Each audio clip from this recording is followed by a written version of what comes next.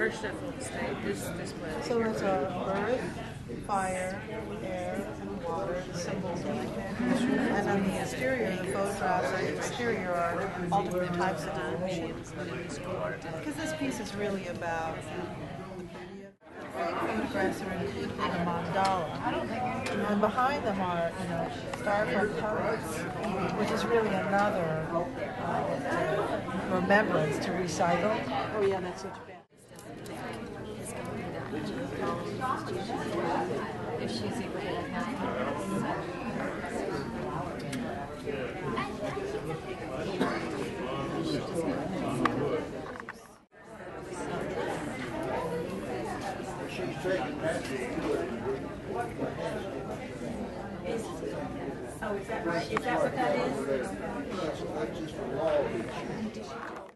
that nice? Isn't that nice? My aunt gave me this, my mom gave me this. I wear my family very well. You know, you know, it makes it more special. If you look at it carefully, you'll notice that my hands actually pressed out the water from the paper. I literally lay down the piece of wood, throw paper at it into the cavity which is located there, and then use my hand to press out the face. So if you'll allow me, I'll show you that my thumb actually made this eye. Yeah. See? Uh-huh. My finger actually made this impression. So they're much like ceramic pieces or sculptural pieces of wax if you're working in ceramics or in wax, where you use your hands to create the organic aspects of the pieces themselves. Interviews and conversations about the meaning of nature and spirituality in our personal lives. And so I'd like to say a special thanks to the museum and to, of course, Brian and Christy for their very wonderful help through this entire process, and to the staff, Jenny, and all of the other individuals that were a part of today. Um, I'm here specifically to answer your questions. And they've told me, they've promised me that you have many. And so I would appreciate if you'd step forward and ask me anything that you would like. I will tell you the truth, no matter what you ask. That's my, it's my solemn promise, to be honest. The ground. You can see it now, can't you? Oh, so there I am in Los Angeles with my car, driving around looking for tree fragment. And you can imagine downtown Los Angeles, there's not a lot. There's even less today than there was when I produced these pieces in the 1980s. And there I am, you know, collecting wood in the back of my van and taking it in my studio and letting it dry for six months before I actually attach paper to it. So you have the root system here above, which creates the crown, if you will. And here is the paper once again. And there I am throwing the paper at it, packing the paper, and once again using my hand. You can see it again. You can see the form here with my thumb to create the facial for the facial features in the Mexican Mesoamerican culture, which is the symbol of woman as well. And I placed a crown on her because every woman deserves one, am I right? And of course, I, I, I gave her a breast because she has children and she must be able to feed her own children. And I sometimes think of this one as Pele. How many people know Pele? Yes, the, uh, the island goddess of the volcanoes because of the purple at the bottom and the red as it flows up. And if you see all the markings on this particular piece, I used the butt of a brush to create these marks. Can you see the marks? You can imagine me laying the butt of a brush into the paper as it's wet. And this always reminds me of, you know, when you're flying in a plane, like I just went from LA to here and tomorrow I'm going back to LA. You see the, uh, the uh, grasslands, you see the uh, fields, and they have these rows in them. So this really is a reminder of the earth to me, if will.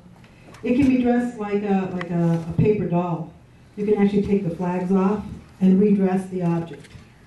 And uh, this particular object, uh, this time, for this particular exhibition, I especially redressed it in environmental issues. And if you take a look at it carefully, you will see that the photographs that are in the central mandala are also replicated here in the Ferris wheel and also in the three-dimensional altar that is on my right. So the photographs kind of float around the room. Indigenous culture kind of floats around the room. If you take a look, you'll see indigenous culture here as well. And the Ferris wheel actually works. I'm the only one who can do this. Just remember that, okay? It actually works.